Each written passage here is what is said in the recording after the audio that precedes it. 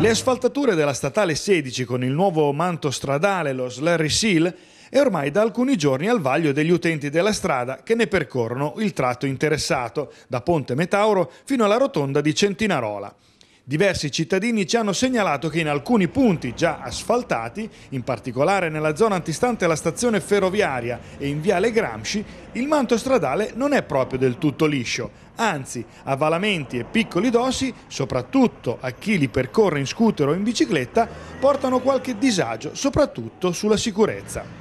Come mai un manto stradale nuovo di zecca dà queste sensazioni a chi lo percorre? È questa la sensazione che si deve avere? O c'è qualcosa ancora che deve essere fatto? Lo abbiamo chiesto ai tecnici del comune e al professor Andrea Grilli dell'Università di San Marino che sta seguendo tutto il progetto.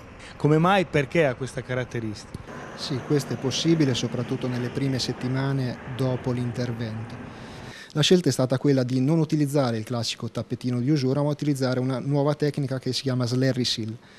Questo materiale è una malta sigillante con spessore non sopra il, il, mezzo centimetro e per questo nei primi tempi può risultare che si avvertano delle eh, diciamo, irregolarità dovute al, allo strato esistente.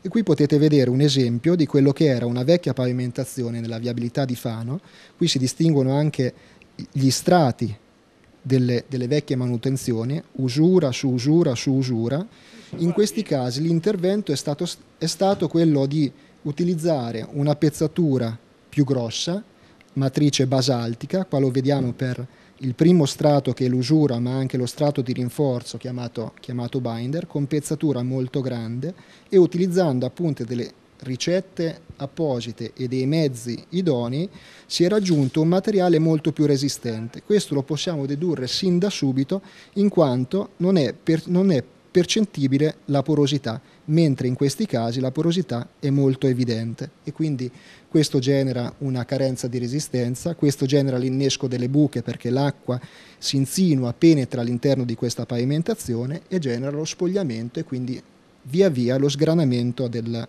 eh, del materiale. Comunque questa sensazione di, così, eh, di eh, rugosità, di sobbalzo si andrà attenuando nel tempo, è... Sostanzialmente sì, sostanzialmente con la macchina io direi che non, non, eh, non, non sarà più avvertibile.